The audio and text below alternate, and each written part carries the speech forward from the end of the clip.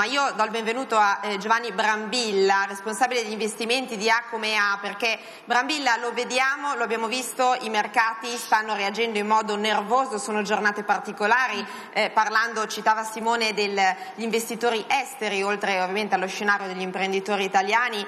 Come è vista l'Italia dall'esterno? Bruxelles si era detta preoccupata e stupita dalla nostra crisi di governo, come dobbiamo leggere questa crisi, qual è la prospettiva sul mercato anche davanti a ciò che è successo oggi? Oggi, cioè ripetiamo il gas, l'annuncio che ci sia una possibile, plausibile interruzione del gas, una riduzione, un risparmio del 15% da qui alla primavera, l'ha detto Ursula von der Leyen, e l'appuntamento di domani con la BCE e l'aumento dei tassi. Qual è lo scenario? So che è una domanda da un milione di dollari.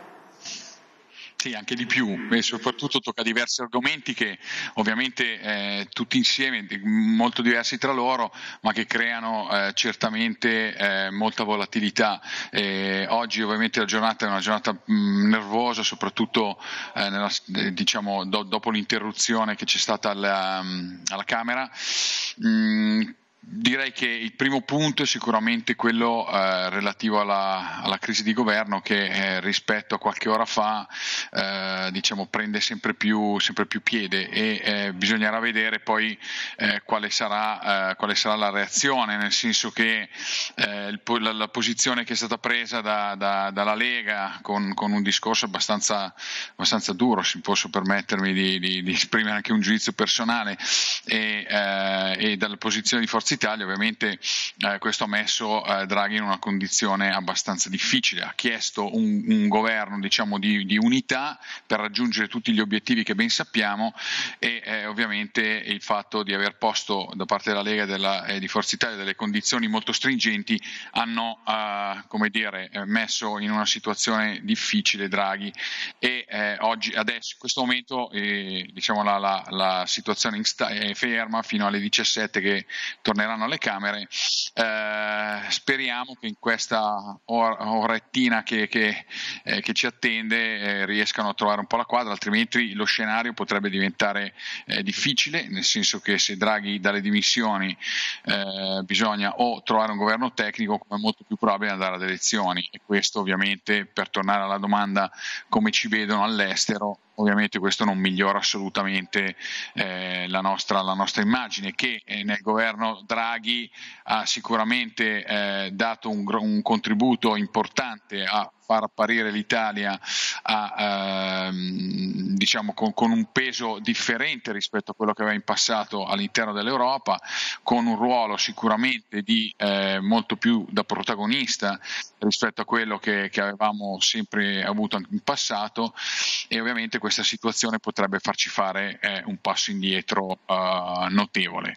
Questo potrebbe avere sui mercati delle ripercussioni importanti, eh, al momento c'è nervosismo terrorismo, ma se eh, pensiamo ad un evento come quello catastrofico di, un, uh, di, di, di un'eventuale uh, elezione anticipate, eh, diciamo il mercato ancora non si è mosso perché quello che mi aspetto è che ci possa essere un allargamento dello spread, una, un ulteriore peggioramento che del mercato azionario. Questo bisognerà poi eh, come dire, sposarlo con quella che sarà domani la, uh, l'incontro con, con la BCE, quello che la BCE racconterà non tanto sul discorso tassi, dove dove... Esatto, esatto. Abbiamo tanti, tanti, appuntamenti ancora per finire questa esatto. settimana che sembrava, sembra già abbastanza intensa. Allora, io Brambilla torno da lei più tardi, volevo rigirare sì. la stessa domanda eh, a eh, Lucio Poma, Presidente di Nomisma, per poi passare diciamo, il, eh, l'impegno a Simone Cerroni, continuare l'intervista. Ma eh, allora Poma, cosa ne pensa? Qual è la situazione dal suo punto di vista e soprattutto per quanto riguarda la notizia del gas di oggi, le chiedo? Poma non la sento, se gentilmente può attivare il microfono. Vediamo se riusciamo a, a sentirla. Eccola, eccola, la sento forte e chiaro, eccoci, prego. Benissimo, allora non sono il presidente ma sono il capo economista di Nomisma per correttezza.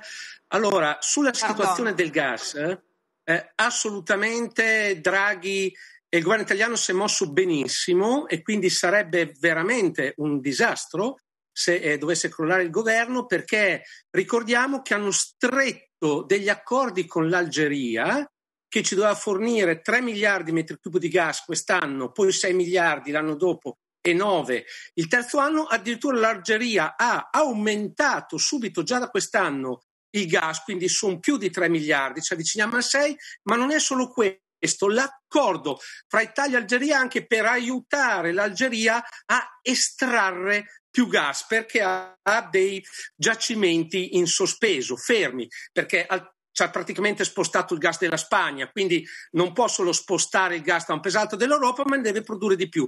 Quindi l'Italia sta giocando un ruolo importantissimo. Questo ci ha permesso in parte di rallentare la nostra dipendenza dal gas della Russia e quindi questo è un punto importantissimo. Perfetto, quindi diciamo che è uno scenario che eh, potrebbe costruirsi in chiave positiva. Allora io la ringrazio, noi ci fermiamo per un attimo, andiamo in pubblicità, torniamo fra pochissimo.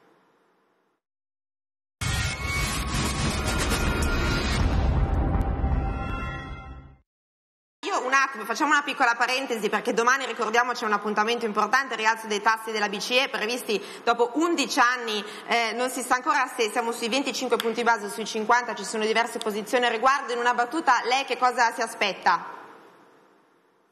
Lo scenario più probabile è che sia, siano 25 basis point, credo che alla fine sarà questo il, il risultato. Certo che eh, negli ultimi giorni si, si, si, è avanzata un po' eh, anche l'ipotesi che possa esserci un rialzo più alto, che secondo me sarà più eh, dopo, dopo, l'estate, quello dei 50 basis point. Poi l'altro elemento è quello eh, del, dell'anti-fragmentation tool, che è quello relativo al, all'aspetto eh, legato al allo spread sul quale la mia eh, sensazione è che anche domani ci sarà una posizione abbastanza generalista da parte eh, della, della, Banca Centrale Europea e quindi eh, non mi aspetto che ci possano essere dettagli particolari per quanto riguarda questo strumento di intervento per eh, calmierare eh, gli spread eh, dei diversi paesi rispetto, rispetto al titolo tedesco.